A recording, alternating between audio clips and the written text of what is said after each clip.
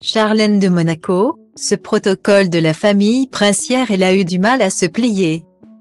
Pour Charlène de Monaco, cette fin d'année 2022 s'apparente à l'épilogue d'un long parcours du combattant.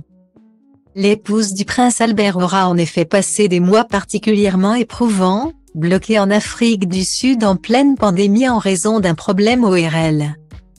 La princesse aura fini par quitter son pays natal, mais aura observé une longue très longue période de repos à son retour en principauté.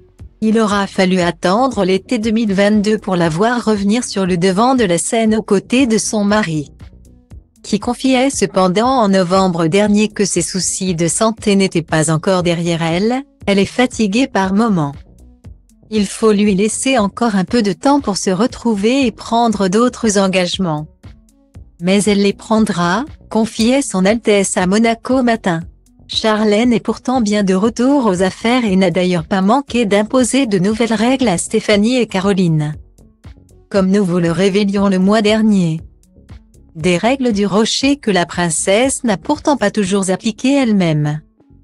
Dans un documentaire consacré au couple princier diffusé le 3 janvier prochain sur W9. Les experts de la famille princière évoquent en effet son apprentissage difficile. Point du français, la première chose que l'on attend d'elle, c'est de parler le français. C'est la langue officielle à Monaco. Or, elle va continuer à s'exprimer en anglais explique l'un des experts au sujet de la Sud-Africaine. Albert aime parler anglais, j'imagine que dans le privé, il parle plus anglais avec Charlène que français. Donc Charlène ne fait pas énormément d'efforts pour maîtriser la langue française précise un autre. Si la maman de Jacques et Gabriella a fini par se mettre à la langue de Molière. Il voit dans ses difficultés le signe d'un certain inconfort, certains ont voulu y voir la preuve de son inconfort. De son malaise, dans un rôle dans lequel elle ne se sent pas toujours bien. Elle n'a jamais vraiment réussi à prendre ses marques. À se fondre dans le décor monégasque comme Grace avait réussi à le faire explique l'expert.